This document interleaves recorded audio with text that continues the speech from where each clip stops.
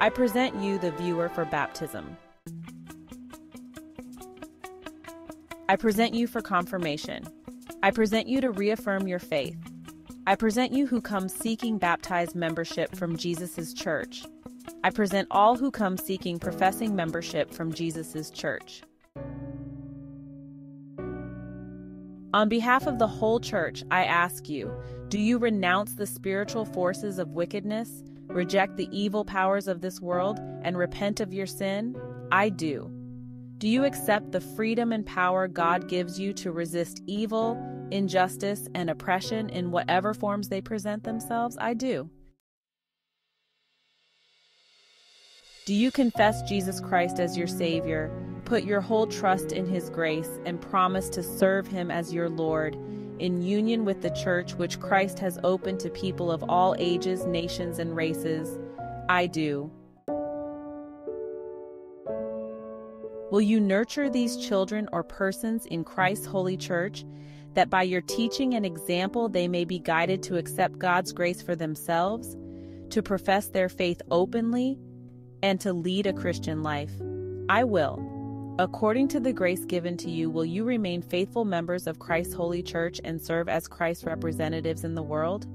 I will.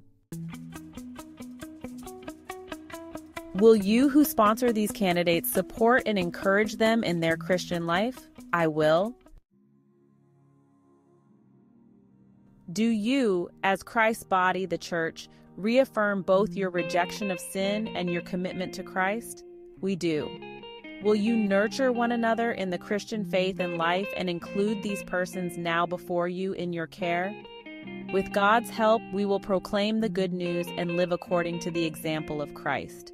We will surround these persons with a community of love and forgiveness, that they may grow in their trust of God and be found faithful in their service to others. We will pray for them that they may be true disciples who walk in the way that leads to life. Let us join together in professing the Christian faith as contained in the scriptures of the Old and New Testaments. Do you believe in God the Father? I believe in God the Father Almighty, creator of heaven and earth.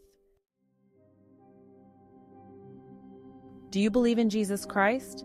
I believe in Jesus Christ, his only Son, our Lord, who was conceived by the Holy Spirit, born of the Virgin Mary, suffered under Pontius Pilate, was crucified, died, and was buried. He descended to the dead. On the third day he rose again. He ascended into heaven, is seated at the right hand of the Father, and will come again to judge the living and the dead. Do you believe in the Holy Spirit? I believe in the Holy Spirit, Jesus' holy church, the communion of saints, the forgiveness of sins, the resurrection of the body, and the life everlasting. I do. The Lord be with you and also with you. Let us pray. Raise your hands, Eternal Father. When nothing existed but chaos, you swept across the dark waters and brought forth light. In the days of Noah, you saved those on the ark through water. After the flood, you set in the clouds a rainbow. When you saw your people as slaves in Egypt, you led them to freedom through the sea. Their children you brought through the Jordan to the land which you promised. Tell of God's mercy each day. In the fullness of time, you sent Jesus, nurtured in the water of a womb. He was baptized by John and anointed by your Spirit. He called his disciples to share in the baptism of his death and resurrection and to make disciples of all nations.